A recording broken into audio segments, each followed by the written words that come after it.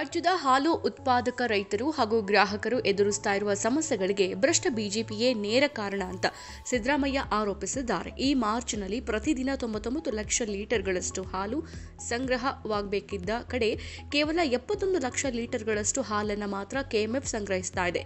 ಇದು ಕೂಡ ದಿನದಿಂದ ದಿನಕ್ಕೆ ಕಡಿಮೆಯಾಗ್ತಾ ಇದೆ ಅಂತ ಆರೋಪಿಸಿದರು.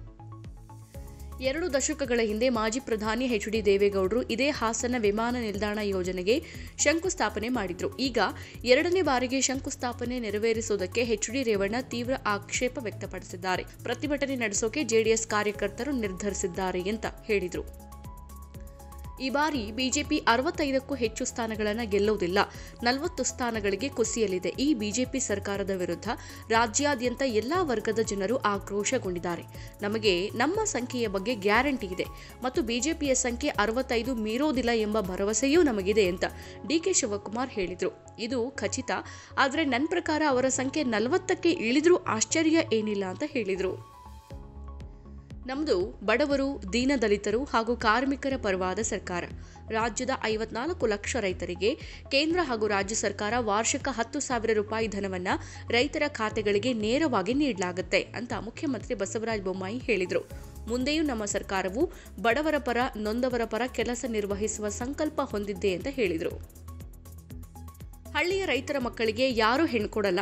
ಹಾಗಾಗಿ ಹಳ್ಳಿಯ ರೈತರ ಮಕ್ಕಳ ಜೊತೆ ಮದುವೆಯಾದರೆ ಎರಡು ಲಕ್ಷ ರೂಪಾಯಿಯನ್ನು ಕೊಡುವ ಯೋಜನೆ ಜಾರಿಗೆ ತರ್ತೀವಿ. ಅದು ನಮ್ಮ ಸರ್ಕಾರ ಅಧಿಕಾರಕ್ಕೆ ಬಂದರೆ ಮಾತ್ರ ಎರಡು ಲಕ್ಷ ರೂಪಾಯಿಯನ್ನು ಕೊಡೋದಾಗಿ ಘೋಷಣೆ ಮಾಡ್ತೀವಿ ಅಂತ ತಿಪಟೂರಿನ ಪಂಚರತ್ನ ಯಾತ್ರೆಯಲ್ಲಿ ಎಚ್ ಡಿ ಕುಮಾರಸ್ವಾಮಿ ಭರವಸೆಯನ್ನು ಕೊಟ್ಟಿದ್ದಾರೆ. ಕೆಎಸ್ಡಿಎಲ್ ಟೆಂಡರ್ ಹಗರಣದಲ್ಲಿ ಲೋಕಾಯುಕ್ತ ದಾಖಲಿಸಿದ ಪ್ರಕರಣದಲ್ಲಿ ಮೊದಲ ಆರೋಪಿಯಾಗಿದ್ದ ಶಾಸಕ ಮಾಡಾಳು ವಿರೂಪಾಕ್ಷಪ್ಪ ಅವರಿಗೆ ಒಂದೇ ದಿನದಲ್ಲಿ ಜಾಮೀನು ಸಿಗೋಕೆ ಸರ್ಕಾರವೇ ಕಾರಣ ಅಂತ ರಾಮಲಿಂಗಾರೆಡ್ಡಿ ಆರೋಪಿಸಿದ್ದಾರೆ.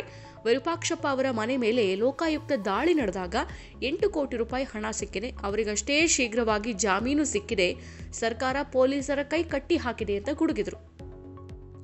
ದೊಡ್ಡ ದೊಡ್ಡ ಕ್ರಿಮಿನಲ್ಗಳನ್ನು ಇರಿಸಿರುವ ತಿಹಾರ್ ಜೈಲಿನ ಸೆಲ್ ನಂಬರ್ ಒಂದರಲ್ಲಿ ವಿಚಾರಣಾಧೀನ ಕೈದಿ ಮನೀಶ್ ಸಿಸೋಡಿಯಾ ಅವರನ್ನು ಕೂಡ ಇರಿಸಲಾಗಿದೆ. ಈ ಮೂಲಕ ಅವರನ್ನು ಜೈಲಿನಲ್ಲಿಯೇ ಕೊಲ್ಲೋಕೆ ಸಂಚು ನಡೆಸಲಾಗಿದೆ ಅಂತ ಆಮ್ ಆದ್ಮಿ ಪಕ್ಷ ಬುಧವಾರ ಆರೋಪಿಸಿದೆ.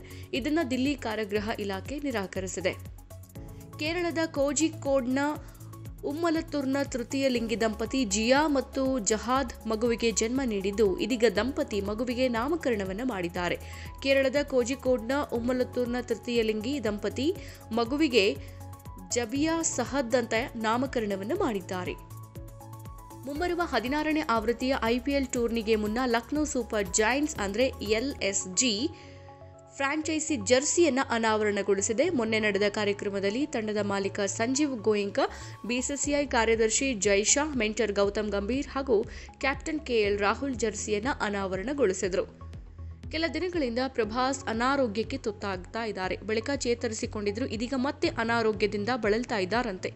ಸದ್ಯಕ್ಕೆ ಎಲ್ಲಾ ಸಿನಿಮಾ ಶೂಟಿಂಗ್ನಿಂದ ಪ್ರಭಾಸ್ ಬ್ರೇಕ್ ತೆಗೆದುಕೊಂಡಿದ್ದು, ಚಿಕಿತ್ಸೆ ಪಡಿತಾ ಇದ್ದಾರಂತೆ. ಆರೋಗ್ಯ ಸುಧಾರಿಸದಿದ್ರೆ ಪ್ರಭಾಸ್ ಹೆಚ್ಚಿನ ಚಿಕಿತ್ಸೆಗಾಗಿ ವಿದೇಶಕ್ಕೆ ತೆರಳಲಿದ್ದಾರೆ ಎನ್ನುವ ಮಾತುಗಳು ಸಹ ಕೇಳಿ ಬರ್ತಾ ಇದೆ.